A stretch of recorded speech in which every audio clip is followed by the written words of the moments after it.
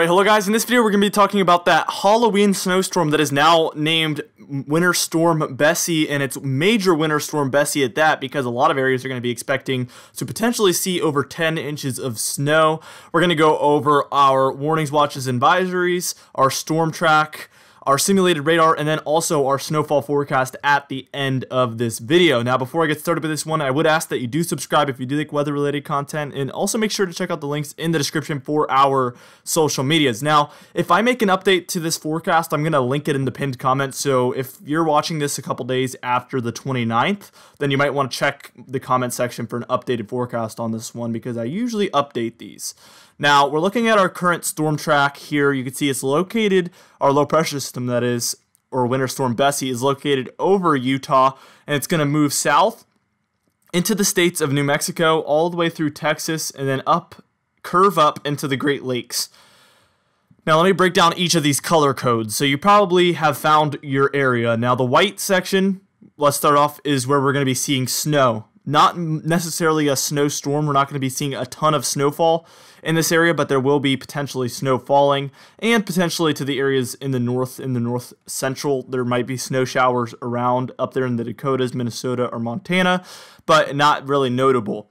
Now, for this pink section, that's where we're expecting our winter storm to really take effect. That's where the most impactful regions are going to be for this one.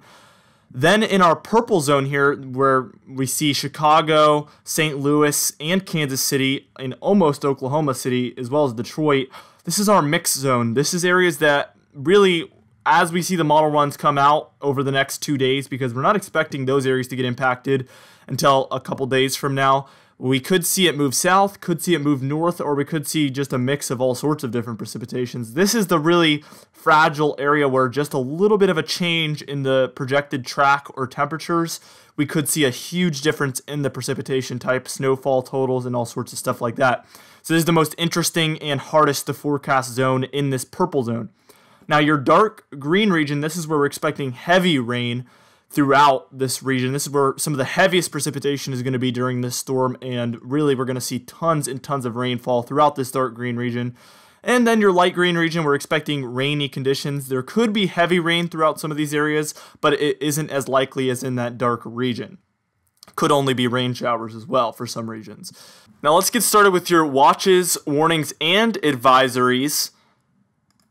You can see in this pink region, we have winter storm warnings for a lot of Colorado and Wyoming there. And then in all those purplish blue areas, that's where we're seeing our winter weather advisories. We also have a freeze warning down there in central Oklahoma, as well as a freeze watch there. And those turquoise colors for Texas, I might want to mention. But we're expecting our heaviest amounts of snow to to occur in the winter storm warning regions in those pink regions. Now, for your precipitation type, this is your GFS model. We're going to go over uh, basically what this model is expecting the radar to look like. So, starting things out on your first frame, this is about right about now, actually, and you can see we have moderate snow occurring for areas in southern Wyoming, eastern regions of Idaho and Utah, and then a lot of regions in Colorado. We're starting to see snow occur in the state of Colorado. We just got done with a snowstorm for those regions, and here we go again. Denver, we're already seeing snow uh, once again. Let's move on one frame though here, and you can see this is going to be later in the evening today, and you can see moderate snow has moved into the Denver area. All of Colorado is basically experiencing light to moderate snow, with the exception of the southwestern corners. That's the one region that looks to get the least amount of snow from this event. We already see rain starting up for Oklahoma and Texas as well. Snow showers entering Nebraska and Kansas by this point, I might want to mention also.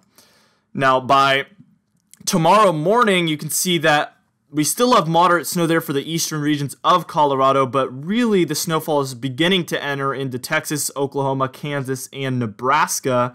And it's at this point that we're going to go ahead and switch over our map to look at the Great Lakes regions where we're already starting to see snow over there. Now you can see we have a better look at Kansas and Nebraska, and we can still see that eastern region of Colorado, though the snow is beginning to, to stop for those regions. But we do have a mix of snow and rain on this model for northern Missouri, that's including Kansas City, and then also for areas to the south of Chicago as well as in Chicago. We're going to move on an extra frame to tomorrow evening, and you can see this is where things get interesting. We see on this run, we see that the low pressure system is a little bit too far north, and we switch back over to rain for Chicago, but we're in light to moderate to even heavy snow there for Kansas City and areas for all of eastern Kansas there, looks like, with the exception of the very southeastern corner of the state, but northern Missouri as well. I just got a comment yesterday, somebody saying that they haven't gotten a lot of snow in Missouri in recent years. Well, here you go. In northern Missouri, we're expecting to see moderate snow very, very soon. This is by the 31st. So this is tomorrow morning, or actually, this is tomorrow evening. Uh, so the 30, heading into the 31st. So this is the 30th, actually, the evening of the 30th. Now let's move on another frame, and this is going to be the morning of the 31st. So this is going to be 12Z Thursday, and you can see southern Iowa and northern Missouri getting the moderate snow bands there, as well as very, very western Illinois. And we see mixing going on just to the north of Chicago, like I said, northern Michigan as well. Let's move on another frame, and you can see heavy, heavy snow beginning to occur for central regions and north central regions of Illinois, as well as southern regions in Wisconsin and northern Michigan. This is by Thursday evening, so this is going to be heading into Halloween night. Uh, so the 31st, and we see heavy snow there again on the border of southern Wisconsin and northern Illinois.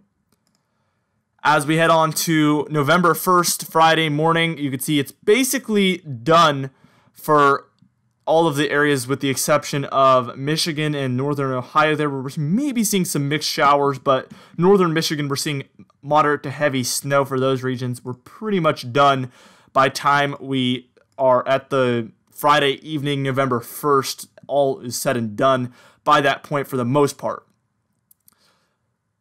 Now let's get into my official snowfall forecast for this one.